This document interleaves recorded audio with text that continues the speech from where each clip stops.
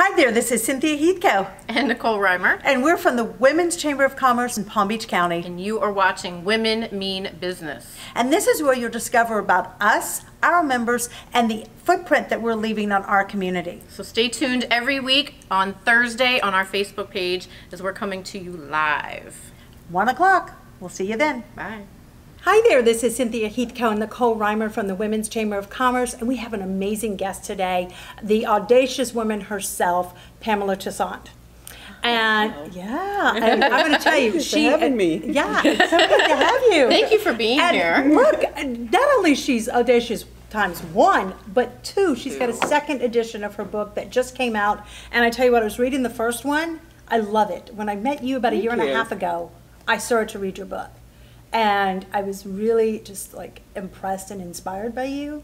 So now that Nicole and I have the opportunity to interview you for the Women's Chamber of Commerce, it's like, ah, life is great. Wonderful. Wonderful. Thank you so much. Looking forward to it. Yeah. Well, so Pamela, you've been a member of the Women's Chamber for quite some time. For quite a few years, I, I think maybe about five or six years, Oh, wow. Yeah. give or take. And it's been a great relationship. As with any of these organizations, the reason I joined the Women's Chamber mm-hmm.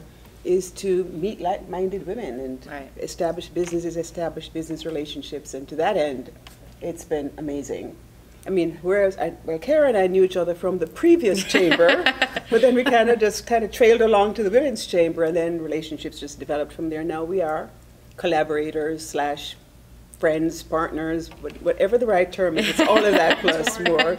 And of course, I got to meet you amazing ladies as well. So it's been really great relationship wise. As far as any sort of tangible piece of business that came from a women's chamber person, no, but that's not the whole point. The Yeah. point is building larger relationships, and the rest of it will follow. Yeah, and it's about also building your brand and you become more visible to those within your network. Absolutely. Yeah, Yeah. it's great working on committees. I actually worked on the uh, giraffe uh, nominations committee two years Very in a row. So I got to meet women at a you know, sort of a deeper Right. level. So that was fabulous. And the Giraffe Awards are coming next March for anybody who's interested. That's, That's 24 correct. years, 23 years, something like that. 24th. 24th. Uh, so Been that's like a on big while. thing for Yes, us. Yes, it certainly has been. So you do everything, I feel. you do, because I was reading, I mean, you're an entrepreneur, Yes, you're a I am. business owner, you're an author, Yes. but you have a very specialized business, the Ultimate Image Coach. So Yes. talk about that. What is what is that exactly? Okay, the Ultimate Image Coach is a business that focuses on primarily on women, but it has been expanded now. I actually have men as clients. Focus on helping people to to understand their power, mm. to first of all build a brand, Right. follow their. If you think about it, passion, purpose, power, prosperity. Oh, very so we good. work on their passion and then use that Four to develop Ps. their exactly I use that it. to develop their brand and then see how that brand aligns with what they really want to do in life. And the motivation for the business is, of course, um, I'm a serial networker. When I moved to like Florida that. 14 years ago, and I hit the streets. Started networking with everybody under the sun. I mean, City Place, I should have a little room there because I'm always there. and I noticed that women were not very happy with their situation. They were going from career, job to job, and it's the same old, same old. They weren't very happy. And the one thing, the common thread that I heard from them is that we just don't feel as if we're valued. I knew a ah, lot of folks in Huge. HR. I'm a That's member huge. of HR Palm Beach County, and it was the same thing. And these are women at senior levels. I'm not talking about entry-level people or people who are, you know, maybe two or three years into a career. These are people who are more senior who still lacked that confidence to do something with themselves. And I said, you know what? One of these days when I'm not working, I am really going to, you know, start something Right. and do something. But I never, so that was kind of in the back of my mind. It was a seed, It really, was that was seed. planted a while ago. And uh, so, but what really triggered the audacious part of this is that I just decided one day that, you know what, I'm done with this corporate job. It was not fulfilling, it wasn't what I wanted to do because my passion in the corporate world was to work with folks to build their image, their presence, have them be able to walk into an executive conference room and communicate with leaders and knew that they had something to, some value to Yeah. add. And that I found lacking a lot, whether it was senior women or millennial. I have a millennial daughter.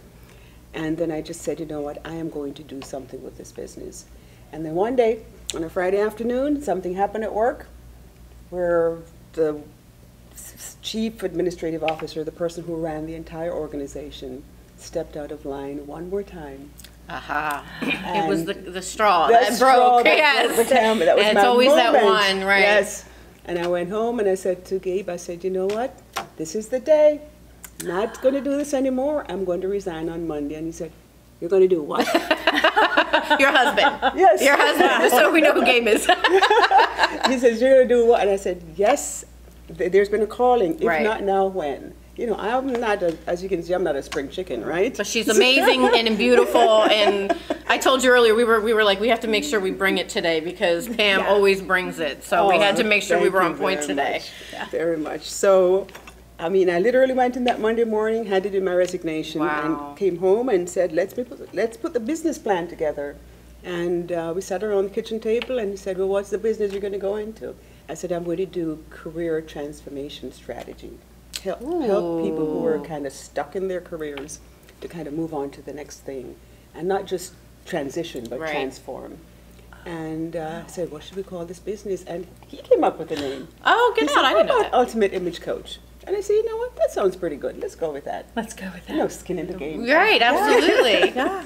So we um, started the business, did a business plan, and started to do a lot, a lot of pro bono stuff, a lot of free stuff. That's the part people don't want to talk about in business. The, the stuff in the beginning you kind of have to do to get yourself going. Well, and that's part of building your brand. It you is. have to do it. So get your name out there. That's what I did. And people say, you know, you're wasting your time by doing all this free stuff, but the free stuff may take a couple, three years, Yeah, but it will come back. yeah. I did a lot of free work for Career Source, Palm Beach County, helping people in transition kind of get their image together, Right. their self-confidence, and now they're a client of mine. Wow. Same thing with a company in, uh, in Fort Lauderdale. They just Wow. called me back the other day to give me, uh, it was a small job, but it was still a job. So the first thing I have to tell people is that the journey of, you know, getting from where you are to where you really want to be with your career or with your business, it's not a sprint. It's not linear either. Definitely a marathon. It's definitely not. You're. It's not it's everywhere. path. It's not how always what you set out, even though you do that at business plan and you should. That's right. It gives you a guide. You still are. That is so true. There's so many bumps that you Twists and encounter turns that and so forth. sometimes you Yes. can't account for. It. It's just business. Yes. I know you've And had a them. lot I've of peaks and valleys. A lot of peaks and valleys. And it's Don't normal. We know it, right? It's normal. Absolutely. Yeah. Right. is normal. So, it, as I said, don't expect that you're starting a business today. Next Right. year, you're going to be smooth sailing Yeah. and you're going to turn a profit. No. It's nice to think. It's nice to think, nice to but you've think. got to kind of realize that it goes like this. And Right. I talk about the path in the book. Yeah. Um, And, and you, you mentioned marathon. Okay, so it is a marathon, and Yes. you brought with you a medal from a marathon. I brought my. I was. We were doing a little bit of uh, decluttering at home, Yes, because it's the end of the year and everybody should be doing that. and I found my little, my first little marathon. I love it. So the thing about the marathon is, um, first of all, you have to know that I am the least. I have no sports skills in my background. Okay, was. we, we're sisters on that. one. okay, cool. We are definitely sisters on that. I was the one who, during recess, I grew up in Jamaica. Recess, everybody's out there playing cricket or whatever, Yeah. and I'm sitting against the wall with a book, or trying, or trying to teach another student how to read, how to get to the next grade level. So Wow. when I actually decided, uh, my mom had passed away from a stroke, and the, I was living in Philadelphia at the time. Go Philly. Oh, Yay, go Philly. And someone said, well, do you want to walk, do a marathon or a half marathon in um, memory of your mom? And I said, walk?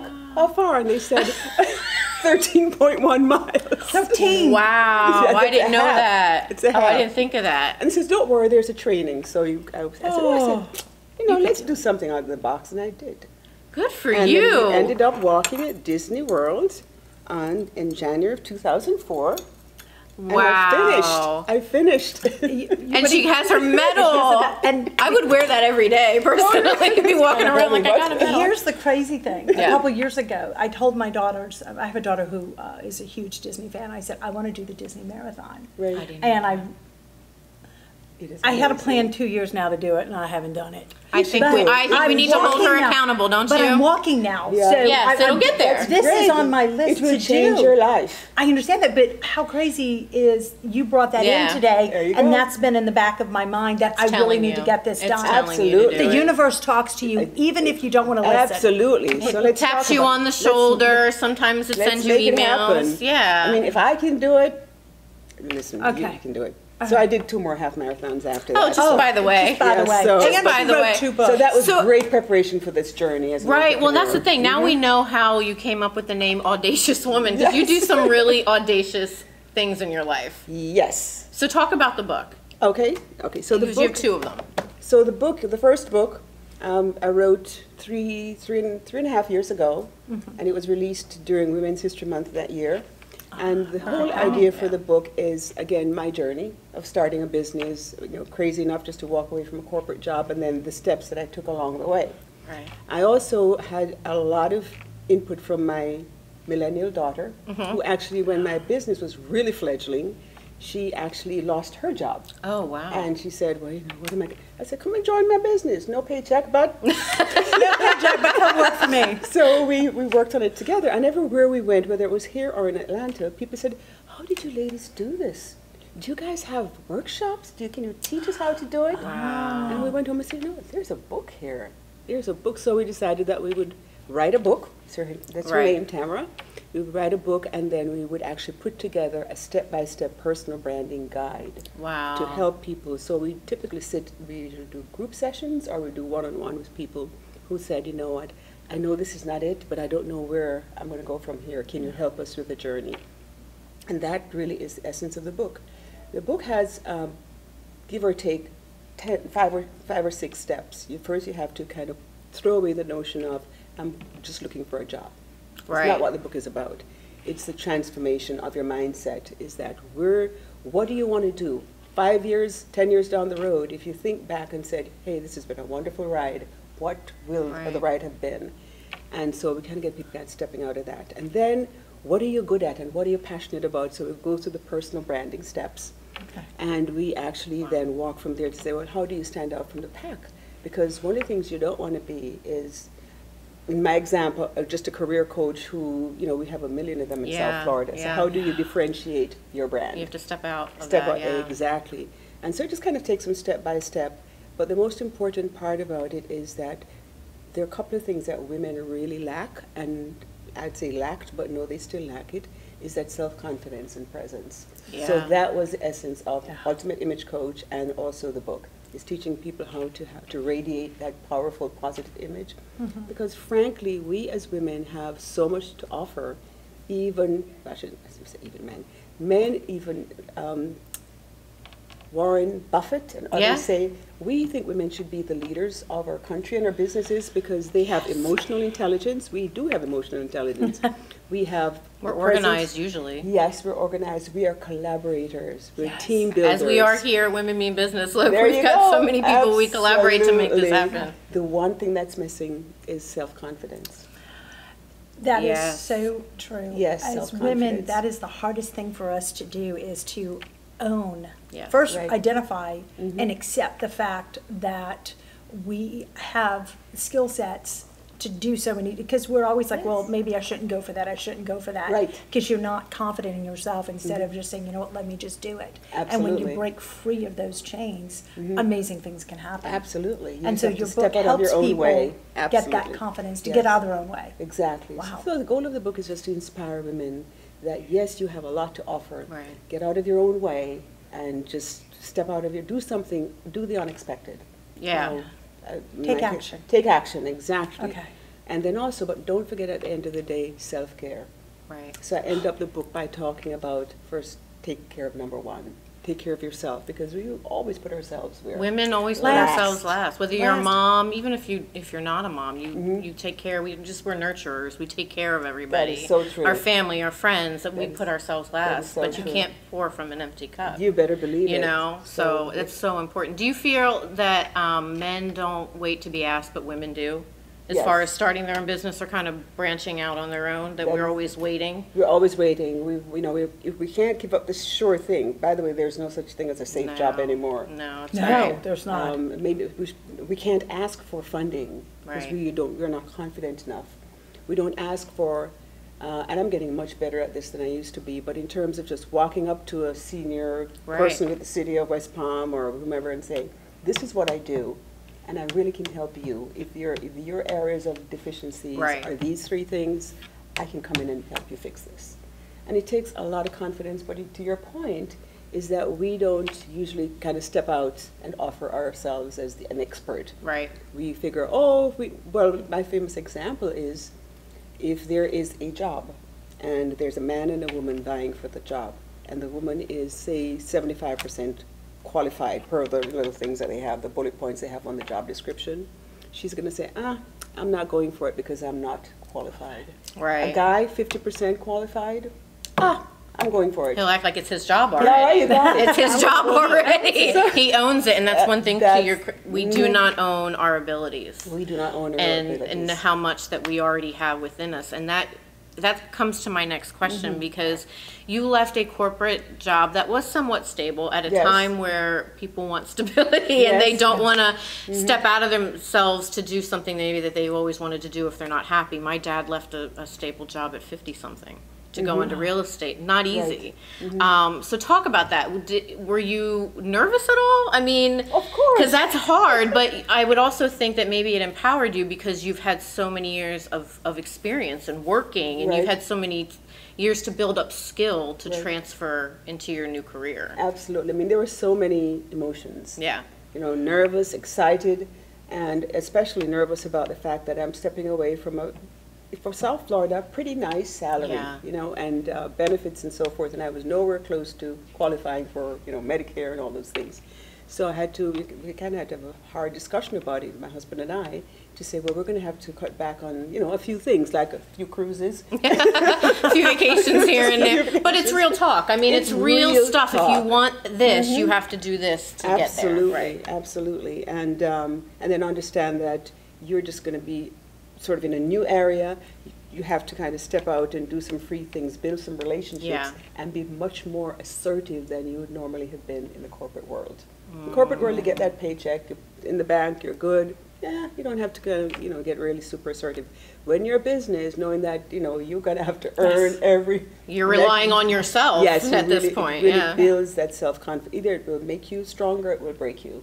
And I was determined that it wasn't going to break It Wasn't going to break. Because mm-hmm. people aren't buying your service, they're, they're, they're, you selling yourself, so to speak. Mm-hmm. It's that mm-hmm. personal relationship, mm-hmm. and so you really have to be on all the time. Absolutely. And, yeah, I know, I know for me with, with my business and the clients come in, they come in and, you know, they'll buy this table because they love the table, but they buy it from me as opposed to somebody else because Right. they want to do business with me. Right. And it's because of that invested time that I give them. Right. But it's a lot of work. It is a It's lot always- of work. you're You always have on. to be on. and Always you're on. working more. I think it's a misnomer that if you own your own business, you're working less. That is so true. You will be You're working so much That's more. right. You never, you never turn it off. You, You know? never turn it off. Weekends are not yours because you always ha- there's always something to be Absolutely. working on or doing or a networking. Whereas a nine to five, you're done at five. Absolutely. But you go home really miserable. I you know, know what I mean? That's really the difference. Is you go home miserable Mm-hmm. because you're you're helping somebody else live out their dream, as Yes. opposed to when it's your business, you're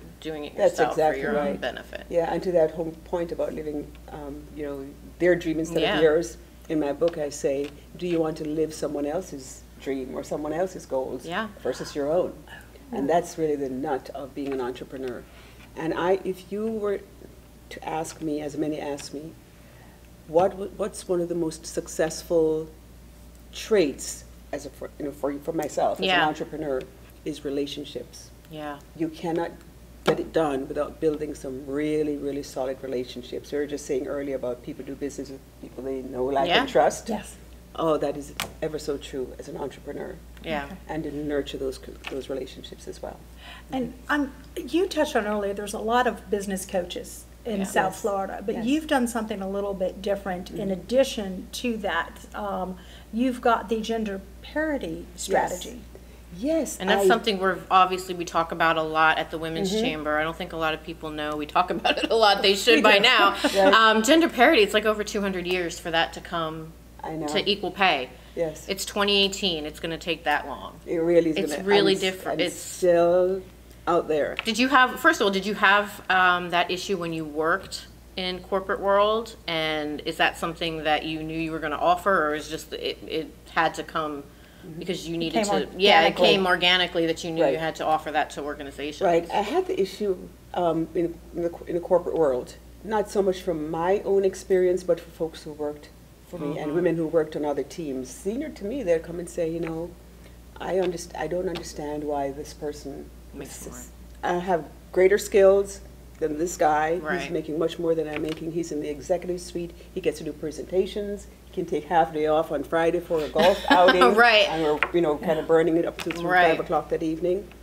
And um, so when I started my business, I kind of had that on the back burner, and I said, but you know, you don't bite off everything at once, mm-hmm. Pamela. Yeah. Just kind of take it easy. And then a year and a half ago, someone reached out to me from Miami and said, your name was given to us as someone who might help us with some gender parity issues that we're having. Wow. So this is a firm that's totally male dominated. They're oh. Latin Oh. American, headed up by Lat- Latin American folks. No women at the senior level, no women at second level Wow. down. So his idea during Women's History Month is for me to come in and do some work with his senior executives and also to, with women.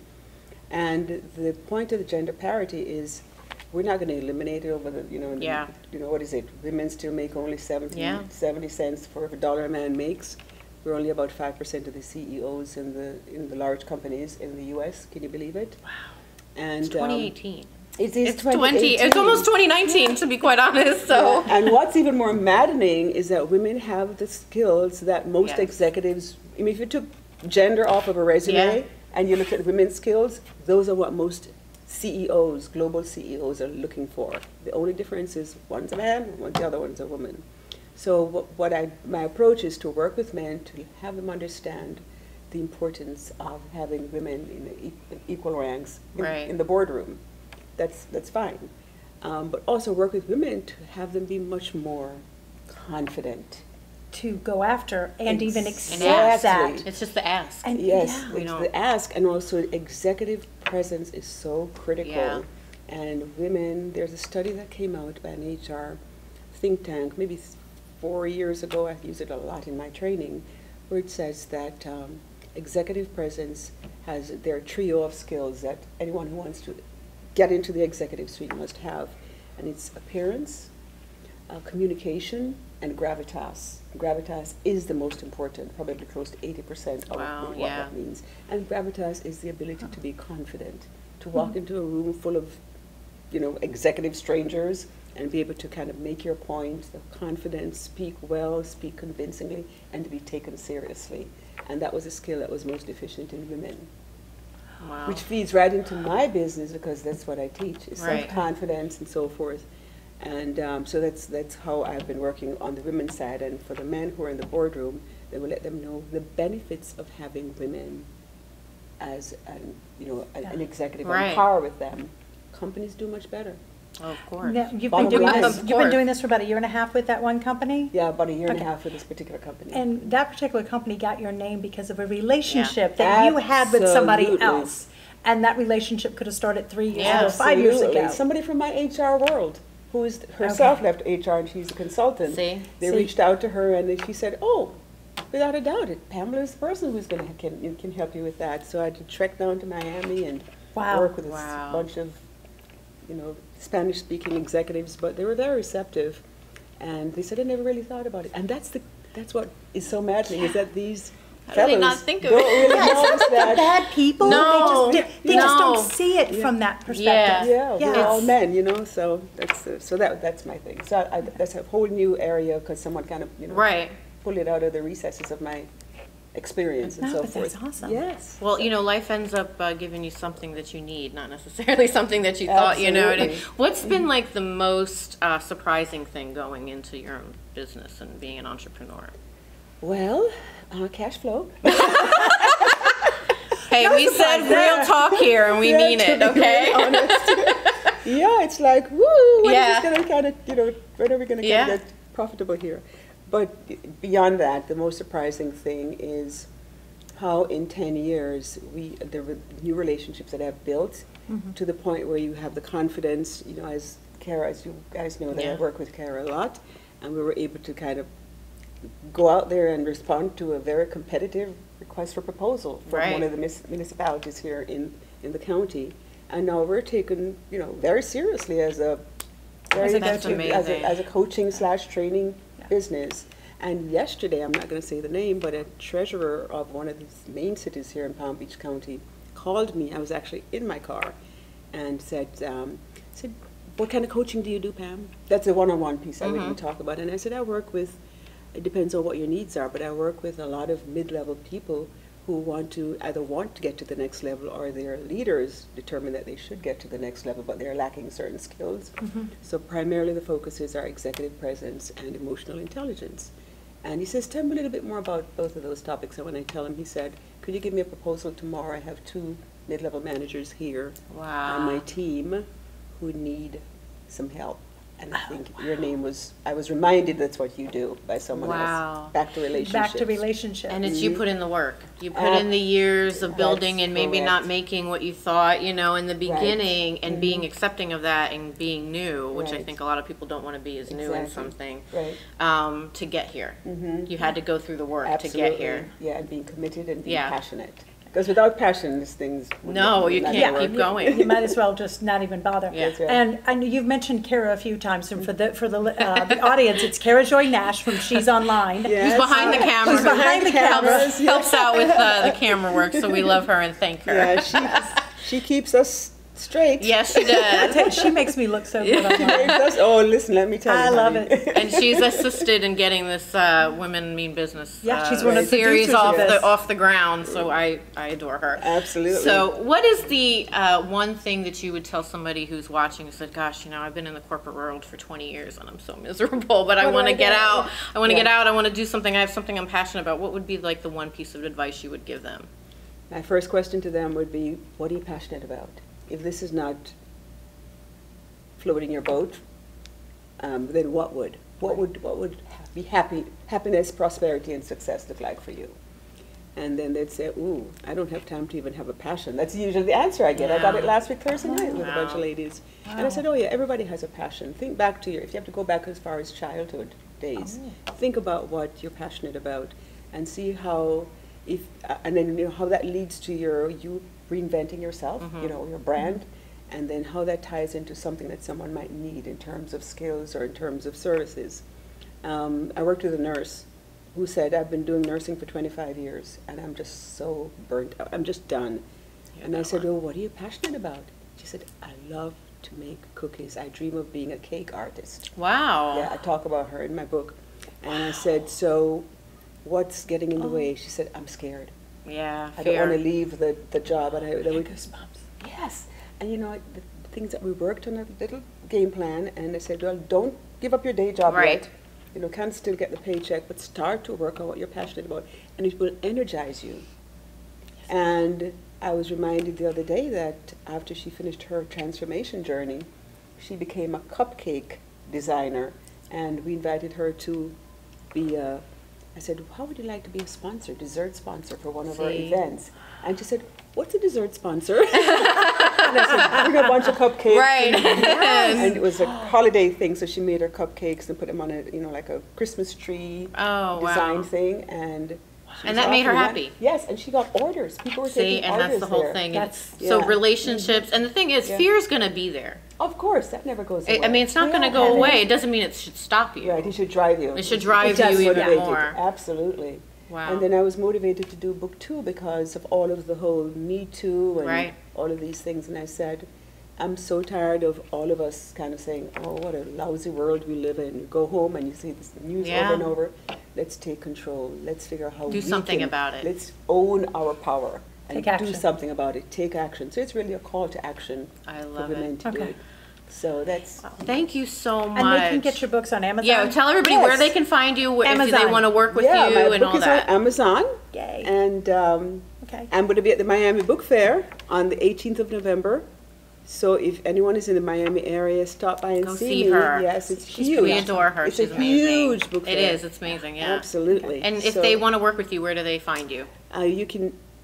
I'm on LinkedIn, Facebook, Twitter. I'm all over the place, and you can always email me at info at ultimateimagecoach.com. Or LinkedIn is where I keep all of my branding up to date. So I would say please connect with me, Pamela Toussaint, and I'm on LinkedIn. Okay. And we'll make sure everybody's linked to you. Thank Okay. you. Pam, thank you so much. great. I It adore it. Yeah, thank you so much. Oh, we, we're all love here on Women I Mean love it. Business. Oh, I love it, love it. Ah, Thank you. And I have, a Oh. book, and I have a book for each of you. Oh, I love it. And we get gifts. Oh my goodness. We're so Oh, excited. That's right. So Pam, yay. thank you again for Thank you. coming, and uh, please reach out to Pam. She's amazing. We adore her. we Thank are, you. you know, this so is lovely. I love what you guys are doing with Thank this. you so much. I appreciate it. All right, guys. So we will see you next time on Women Mean Business. I'm Nicole Rymer, Cynthia Heathcoe, and our guest today, Pamela Toussaint. Thank you. so